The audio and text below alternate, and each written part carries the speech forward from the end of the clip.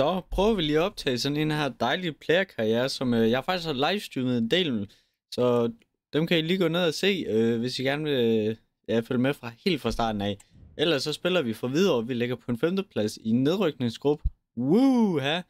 Og hvis man kigger på mine stats, så har jeg simpelthen spillet 23 kamp og scoret 5 mål, ingen assist simpelthen, og vi spiller som højre midt lige nu. Vi er topscorer for vores klub, men det skal der så heller ikke så meget til, når den anden han kun har tre mål også. Vi er helt nede i bunden. Lige nu, der tænker jeg bare, at vi skal i gang med at spille øh, en kamp her mod Randers, og så ser vi bare, hvordan det går. Nu er det jo videre, vi spiller som. Sådan, så er jeg simpelthen blevet smidt ind som venstre wing, og så ser vi bare, hvad jeg kan bedre af den her kamp. Nielsen with it. Så har vi en målchance her, han skyder. Den rører simpelthen ud. Øj. Well, this corner could be pivotal. It might represent the last chance to get in front in the dying moments. And time for the change now. Nielsen with it. Skyder vi langt ud fra. Shoot. Well, they Så slutter kampen, og den ender simpelthen på 0-0 uafgjort med Randers. Så bliver simpelthen smidt ind mod Vejle. Altså dem, vi ligger tættest med er i uh, Superligaen. Og vi er på 0-0, så håber vi, at uh, jeg kan komme ind og gøre noget som højre wing. Så laver jeg et indlæg her. Kan vi finde ud af det? Det tror jeg ikke rigtigt. Så har Vejle en chance her, og den ender på, at de scorer. Kampen slutter simpelthen 1-0, desværre. Så har vi en kæmpe målchance her mod Odense. Den vælger vi så ikke lige at bruge. Er der offside? Får vi en scoring? Eller er der offside? Der er simpelthen mål. Vi får en 1-0 mod OB. Altså Odense, det er så vildt det her. Så skyder vi her. Hvor den simpelthen ikke. Igen, jeg skulle bare have spurgt, om jeg kunne få den. And it is substitution time at this juncture. Så løber jeg herude ved kanten.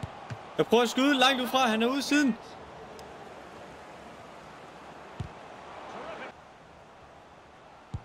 Skyder langt ud fra. Øj, det rører ind. Vi får første mål her og sikrer os en sejr mod Odense. Så har jeg simpelthen et løb her for mig selv igen, og jeg skyder. Det rører ind. Vi scorer lige inden, og vi laver syv. To mål på næsten ingen tid. Det er helt skørt. Odense, de taber 3-0 mod Hvidovre, og jeg var med til at lave to mål. Hvor er det vigtigt, det her?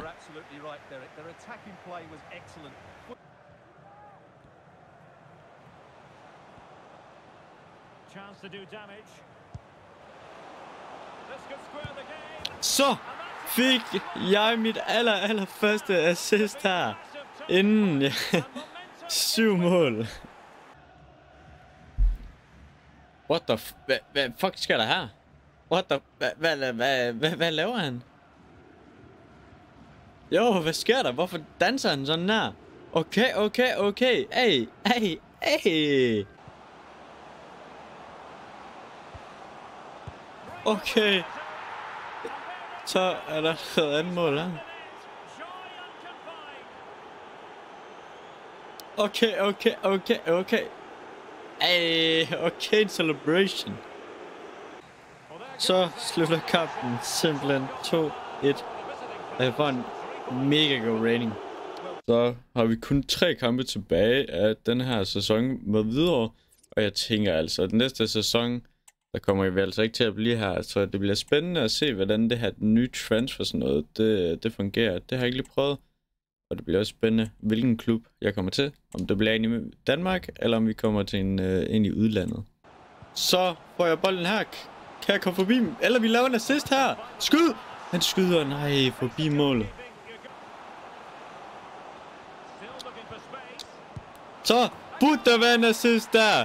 Sikke et godt assist, som lige kommer igennem målet. Og den gemmer ham her. Fordi han havde gemmer. Det var en lille joke. Okay. Okay, jeg har simpelthen fået free kick her.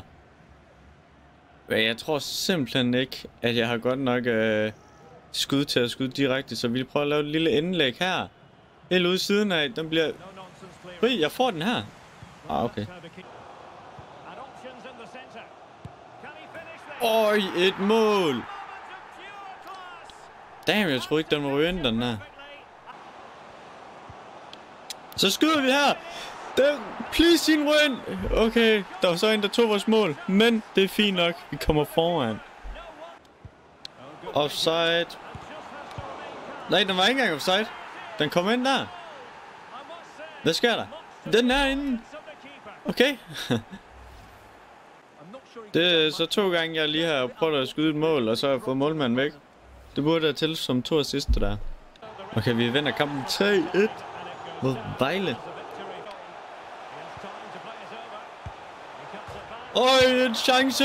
Og den ryger ud til en medspiller. Heldigvis, det er tredje gang i den her video, det her det er sket. Nielsen. Kom nu. Goal, goal, goal, goal, goal, goal. Så burde. Nej, okay. Nej, nej, nej. Sikkert et! Mål, jeg laver her! Hvad er det for et skud? Sygt! Nej, nej, nej, nej. Det må jeg simpelthen nødt til at se igen. Var det en mega fed volley, der lige kom der? Den må vi altså nødt til at se igen. Den kommer her. Please sig det ikke vil lag. Okay, en smule lagger det. Der. Første berøring. Oj, oj, oj. Nej, nej, nej, hvad sker der? Videre, de burde være med i Champions League med de her to syge mål, vi lige har lavet. Altså, så slutter videre mod Viborg-kampen her. Sikke en kamp, vi får spillet her. Jeg ved ikke, hvad der sker med os videre, men vi har da i hvert fald ikke tænkt os at rykke ned. Selvom det gjorde vi nok, hvis der var en, øh, en første division med i EA. Okay, okay. Jeg har lige fået en besked her fra min agent, at øh, der er talentspejder på plads for øh, at øh, se mig.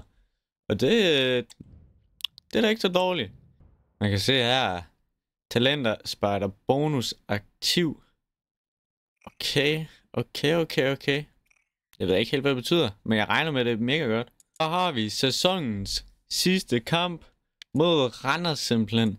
Og som I kan se her, så ligger vi nummer 4.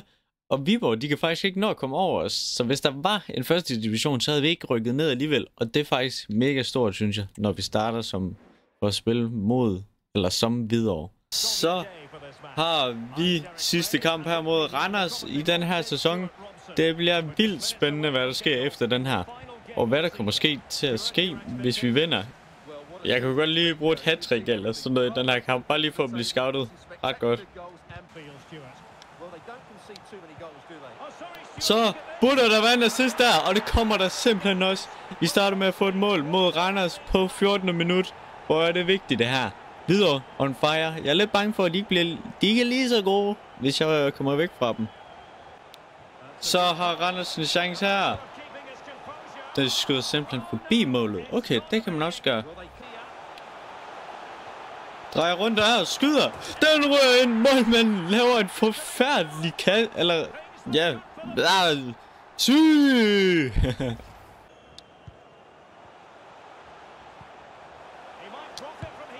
Så fik jeg en assist der, og jeg er kommet op på en rating 10. Det er helt sygt det her. Videre, vi er on fire lige nu. Oj! Så har jeg lige lavet sygt et mål, som jeg gjorde i sidste kamp næsten igen. Det der, det virker altså bare. Så slutter kampen her. Desværre er det sidste kamp her i sæsonen med Hvidovre. Så vi var ellers begyndt lige at spille så godt. Slå klubberne 4-0 og 3-0, eller hvad det er. Det er en syg slutning, vi får her ved Hvidovre. Og vi håber for Hvidovre, at det fortsætter sådan i næste sæson.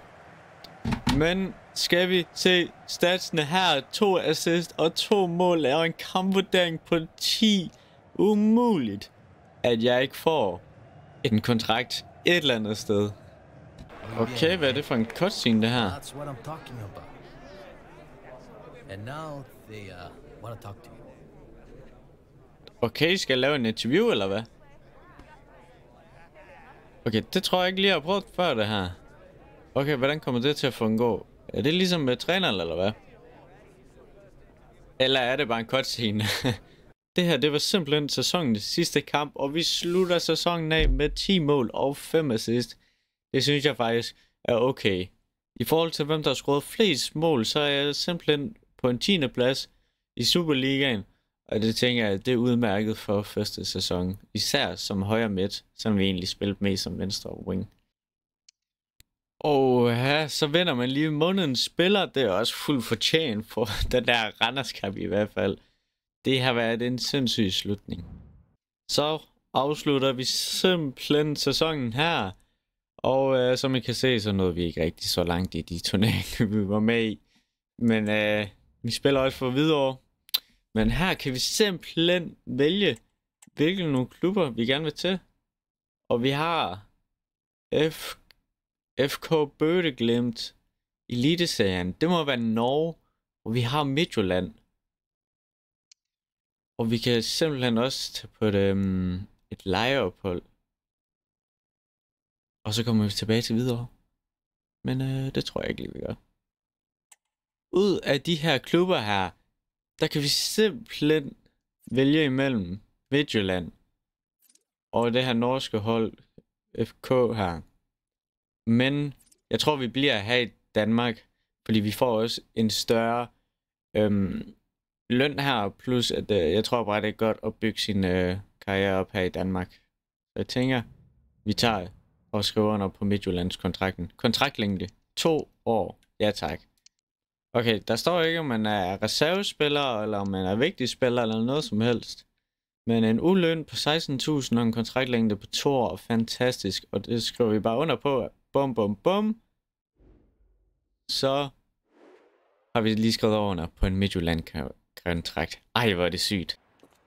Så kommer vi simpelthen ind ad døren her til ham her manden i en hvid G-trakt, som jeg tror, der er fuldkommen glitch. Men vi kommer ind ad Midtjylland, møder Thomas Thomas Bar. Vi siger lige goddag. Okay, han gider ikke at snakke med os i så lang tid. Øh, det er også fint, altså. Men så er vi ude på cyklen her og får lægecheck og alt muligt. Så ser vi den her flotte Midtjylland trøje med selvfølgelig nummer 12 bagpå. Og vi får taget masser af billeder. Ej, hvad er det godt at se. Nyt ansigt skal styrke FCM. Den 19-årige skal forsøge at imponere FC Midtjylland ovenpå sit nylige skifte. Hvor er det flot ja. Okay, jeg står simpelthen til at være vigtig spiller her. Okay, det har jeg ikke lige regnet med. Men øh, det er udmærket. Jeg klager ikke. Det betyder, at vi får en masse startopstillinger. Så skal vi lige kigge på vores kontrakt her. Kampe i startopstillingen 26%. Skal vi helst være med på? Det tænker jeg, det burde vi godt kunne klare. Men der scorer tre hat -tricks. Hvem tror de lige er? Ronaldinho? Ah, okay, men ellers så øh, mål på hovedstød 1. Okay, det er bare en de her valgfri nogen, og det tænker jeg, det er fint nok. Nå, husk lige at smide et like og subscribe for flere videoer.